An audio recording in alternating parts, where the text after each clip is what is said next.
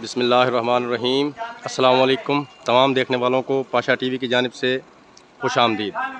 दुआ करता हूँ, अल्लाह ताला के फजल करम से आप सब खैर वाफ़ियत से होंगे। इस वक्त आप अपनी स्क्रीन पर गला मंडी अलीपुर चट्ठा में बोली होते हुए देख रहे हैं। मुंजी है सुपर फाइन और इस वक्त इसकी बोली चल रही है। ये आप सुन लें ज़रा। तेरह, चौदह, पंद्रह, सोलह इस वक्त रेट छब्बीस सौ अठारह रुपये चल रहा है, बीस रुपये हो चुका है। तब तक ये बोली ख़त्म होती है, तब तक मैं आपको कुछ पिछली डेयरियों के जो हैं रेट बता देता हूँ। और एक बात खसूस तौर पर बताना चाहता हूँ कि आज गला मंडी अलीपुर चट्ठा में मुंजी चनाब भी आई है और पंद्रह ज़ीरो नौ भी।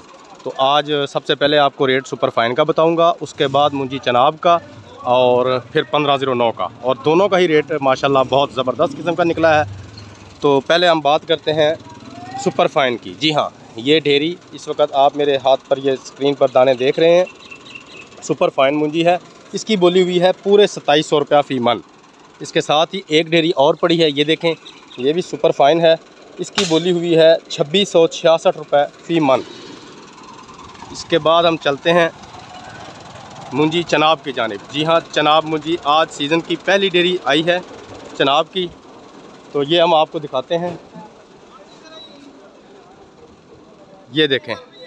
ये मैं चनाब मुंजी के पास आ चुका हूँ। बहुत ही उम्दा किस्म की मुंजी है ये भी। ये देखें ज़रा।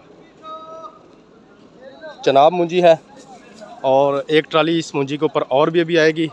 तो अब इसके रेट की बात की जाए तो जनाब इसकी बोली हुई है छब्बीस सौ सत्ताईस रुपये फ़ी मन हो सकता है शाम तक कोई एक आध देरी और आवे, आए और उसका रेट हो सकता है इससे ज़्यादा भी बढ़ सकता है।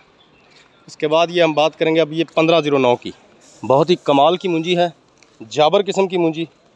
आप दानों को देखकर आपको बखूबी अंदाज़ा हो चुका होगा। बहुत ही प्यारी और जिसे हम पंजाबी में निगर मुंजी कहते हैं, यानी कि पली हुई और बहुत ही वज़न, वज़नदार इसके दाने हैं। और इसकी बोली हुई है, जनाब, सबसे ज़्यादा अब तक जितनी भी पंद्रह ज़ीरो नौ आई है, उससे ज़्यादा इसका रेट लगा है चार हज़ार पंद्रह रुपये फ़ी मन। चार हज़ार पंद्रह रुपये फ़ी मन इसकी बोली हुई है। तो उम्मीद करता हूँ आज के रेट आपको पसंद आए होंगे। इन जैसे ही अब आगे चावलों का प्रोसेस शुरू होगा, चावलों के रेट भी आपको बताता चलूँगा।